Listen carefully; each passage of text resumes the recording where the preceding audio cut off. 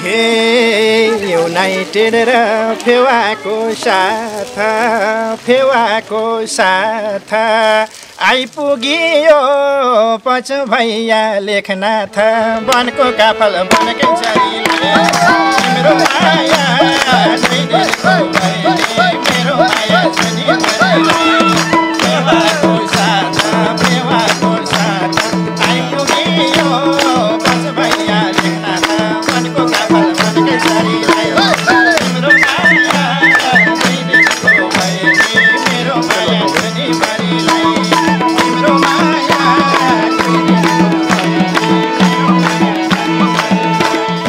फेवा टेलिभिजनको कार्यक्रम फेवा चौतारीमा गाइएको गीतको एक अंश हो यो। आगामी पुस सत्ताइस गतेदेखि पोखराको अमरसिंह स्कुलको खेल मैदानमा हुने पोखरा महोत्सवको प्रचार प्रसार स्वरूप लेखनाथको पच्चा भैयामा सो कार्यक्रम सम्पन्न भएको हो। सो अवसरमा कलाकारहरूले पच्चा भैयामा रहेको प्रस्तावित चिडियाखाना र पोखरा महोत्सवको बारेमा गीत गाएका थिए।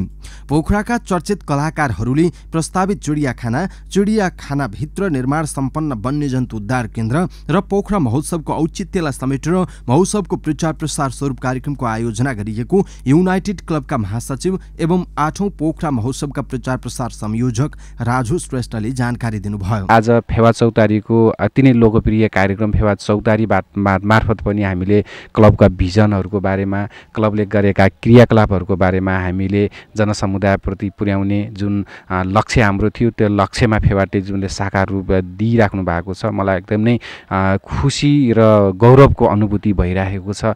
चिडियाखानाको परिसरमा निर्माण सम्पन्न वन्यजन्तु उद्धार केन्द्रबाट साङ्गीतिक कार्यक्रम र महोत्सवको प्रचार प्रसार गर्न पाउँदा निकै खुसी लागेको पोखरा अन्तर्राष्ट्रिय चिडियाखाना समितिका संयोजक हिमालय बक्रेलले जानकारी दिनुभयो।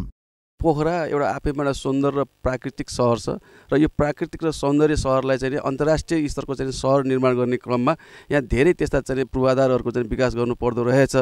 जस्तै अब अन्तर्राष्ट्रिय स्तरको चाहिँ एयरपोर्ट होस् अन्तर्राष्ट्रिय स्तरको सेमिनार हलहरू होस् होइन त्यस्तै किसिमको चाहिँ अब यो यहाँ पर्यटनको बसाइ लम्ब्याउने किसिमका चाहिँ जुन एउटा गतिविधिहरू यो पोखरा यो सौन्दर्य सहरमा गरिन्छ।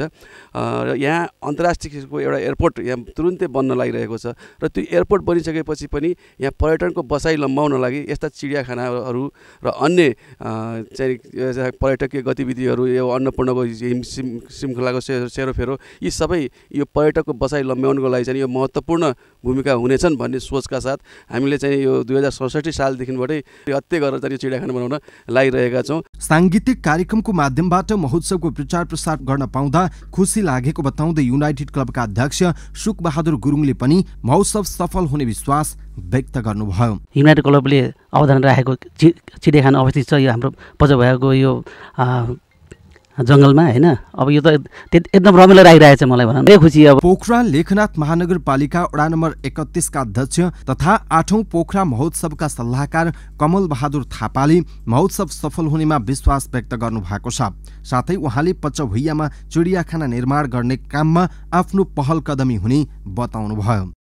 अब यो एउटा कोरा नै भनौँ यो ठाउँ भर्खर भर्खर बामे सर्दैछ र उत्कृष्ट यो एरियाकै क्षेत्रकै अब देशको नै यो असाध्यै राम्रो रमणीय ठाउँ हो। किनभने यसको उत्तरपट्टि बेगनाथ ताल र दक्षिणपट्टि रूपाताल छ।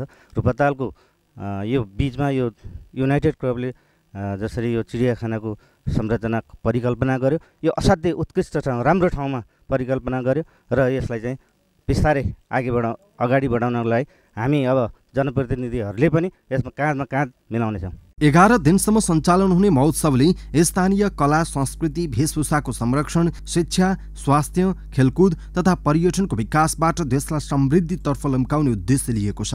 महोत्सव महोत्सवमा मात्र सीमित नरहोस्। यसले लिएका उद्देश्य पूरा गर्न आयोजक र तपाईँ हाम्रो महत्त्वपूर्ण भूमिका जरुरी छ। के गर्नै पर्ने भारै छ आरती? फेवा टिभी सँगसँगै सारथी। खोलीमा जालो सानोलाई